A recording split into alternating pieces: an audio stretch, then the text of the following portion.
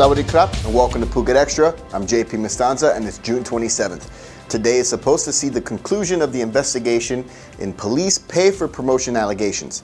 More on that a little later. Now here's the news you need to know. Details are emerging from the tragic deaths of five people at the Charoen Pokphand Foods processing plant with police learning that the incident all began with an open wastewater treatment pond inside the factory. It all happened last Friday at that CP Foods plant in Bangkok during a two-student tour of the facility when one woman fell into the pond and the tour leader, an environmental officer at the company, tried to rescue her, but they both fell into the pond unconscious because of the fumes.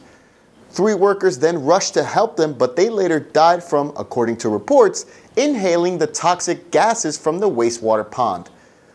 Authorities have so far learned that the tour was arranged through a personal connection.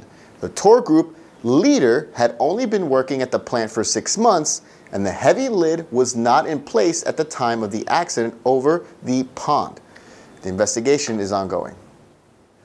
Investigators say they need an extension about 30 more days to complete their probe into allegations of pay for promotions within police ranks nationwide. The investigation began after accusations were made about position buying from a former Democrat Party MP, Witthaya Kaewparadai, who said it was rampant, especially in the South, triggering a temporary transfer of the Provincial Police Region 8 commander based here in Phuket. The probe was initially supposed to be for 15 days, with plans for it to be concluded today. But after questioning 40 people, Investigators from the Royal Thai Police say they need more time to look into the Royal Thai Police. The investigation is being criticized by some as the man who is leading the effort, Police General Panya Mamen, went through the Royal Police Cadet Academy with Police General Tessa Siriwatu, the former commander in Phuket who was transferred. But he assured reporters that their relationship would not affect the case and about 19 billion baht or 17 tons of drugs are now gone as they've been burned in three provinces marking the UN's International Day Against Drug Abuse and Illicit Trafficking. The drugs had previously been seized in 65,000 cases and kept in storage until yesterday, where in several areas they burned about 7.8 tons of amphetamine or yaba tablets worth nearly 17.5 billion baht. Meanwhile, in Nakhon Phanom, five tons of marijuana were torched, while in Bangpa Industrial Estate, they burned nearly one and a half tons of other drugs, including heroin. And sit tight, Phuket Xtra. We'll be right back after this.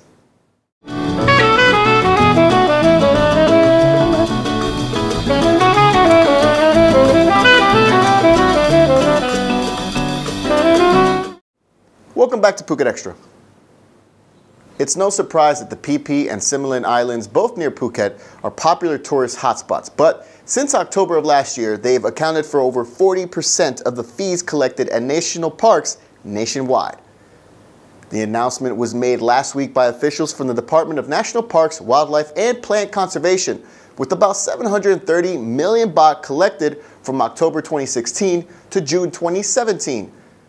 The Phi Islands east of Phuket generated nearly 430 million baht, while the money collected at the Similan Islands National Park north of Phuket were just shy of 300 million baht. Nearly 1.7 billion baht were collected at national parks around the country, with officials saying the money will be allocated for restoration, development of natural attractions, and personnel costs. And a big congratulations to not only the Cruzeiro Football Academy at British International School Phuket, but also to 18-year-old Francis Hosking, who's been tapped to represent the Philippine senior national team. Three years after the program's inception, the Academy finally has their first homegrown player tapped for the big time with Hosking, who's a dual Filipino and British national and has been at BIS for 16 years, according to a story by the Phuket News sports editor Matt Pond. BISP Cruzeiro Football Academy head coach Jonatas Candido had asked the player to join them since the start of the program, and now the hard work is finally paying off, with Hosking set to audition for professional clubs this August. Congratulations once again.